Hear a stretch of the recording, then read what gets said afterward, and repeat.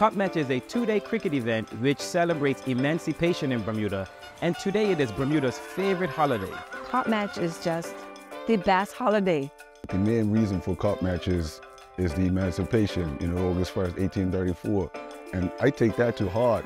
So, like, we're really celebrating that. And it's just an opportunity for us to appreciate Bermuda, appreciate the sport, and that's a time when we all come together as one. The main thing you need to know about Cup Match, it is a rivalry. You're either east or west, Somerset or St. George's. I'm for St. George's. Somerset. Blue and blue, through and through. Somerset. If you're for St. George's, your colors are blue and blue. If you're for Somerset, your colors are red and blue. And that will let you know who you want to hang around at the game. So make sure you get your colors right. Somerset! Now, if you're a visitor and you're at the game, the first thing you want to do is find out who's a local. Make friends with a local because that local will invite you into their camp.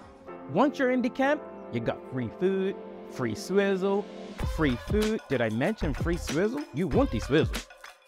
Everybody's responsible to bring something to the game, so I was like, you're logging everything in. What we have to have is A cooler full of ice. cooler full of ice, cooler full of drinks, music. We carry 15 gallons of swizzle to cup match. I officially started doing my stand in 78. We've had a camp for eight years. We've actually had a camp for just over 40 years.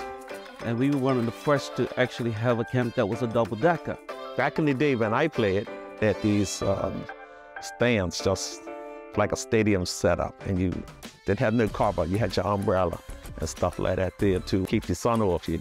When camps first started at the game, everybody was on one level. Now, because of its popularity, it has now risen to three levels. Within the three levels of the scaffolding, everybody has their own individual cube. Each camp has a different name which represents the people that organize that particular camp.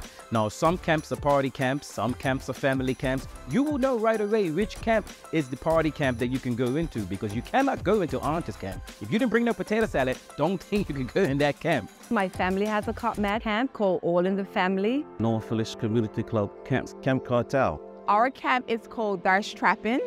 The name speaks for itself. We have a rivalry in our camp, whereas we got Somerset people and we got St. George's people. You know, it's just clean fun, arguing amongst ourselves during the game. Well, my camp is a bit more conservative than my son's camp. In fact, to be quite honest, I don't really like to be close to my son's camp.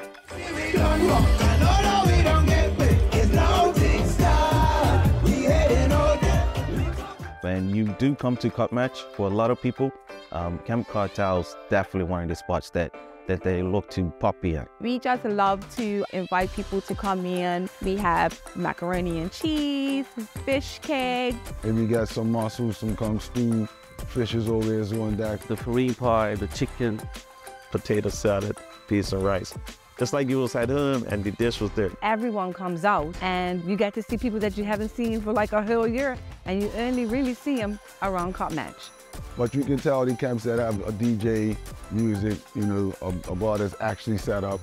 And most times those camps are open for people to come in and just and partake. And, you know, we're, we're very open with that. Like, yeah, come in, come have a drink. The one thing you must do before you leave is stop by the Crown and Anchor tent. Now in Bermuda, gambling is illegal. But these two days, these two days, you can gamble for this specific game. As an island, I feel that Cup Match brings everyone together. There's something for everyone to enjoy, no matter how old you are. Just spend some valuable time with each other. If you happen to come up there, and I actually implore most people to do so, especially if you're a tourist, come have a drink with us. Come say hi.